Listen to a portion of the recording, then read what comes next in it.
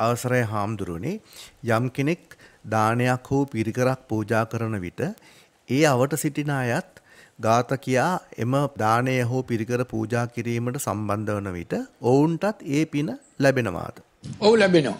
ඒක දැන් තමන්ගෙත් දැන් අනුන් දෙන පිනක් අනුන් කරන පිනක් හරි තමන් අතගහලා හරි සහභාගී වෙලා හරි තමන්ගේ හිතේ මෙත්තා කරුණා මුදිතා උපේක්ඛා පිරිසුදු චේතනාවක් යහපත් සිතුවිල්ලක් ඇත්නම් ඕනම කරන පින්කමක් තමන් කෙලින්ම කරේ නැතත් ඒ අනුන් කරන පිනකිනුත් තමන්ගේ අර හදයන් පුනාති පුඤ්ඤං කියන ආකාරයට පින්කමක් කරගන්න පුළුවන්.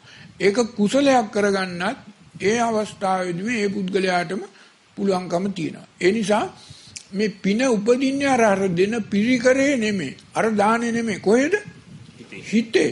මේක තමන්ගේ හිත පැහැදෙනවා නම් හදයන් පුනාති පුඤ්ඤං නම් අනුන් දෙන පින්කමකිනුත් තමන්ට හිත පහදාගෙන චිත්ත ප්‍රමෝදයක් ප්‍රසාදයක් ඇති කරගෙන අර කෙලස් කුණු කිලුටු ගති හිතෙන් අයින් කරන්නට පුළුවන් විදියට කුසලස්ස උපසම්පදා කරගන්න පුළුවන්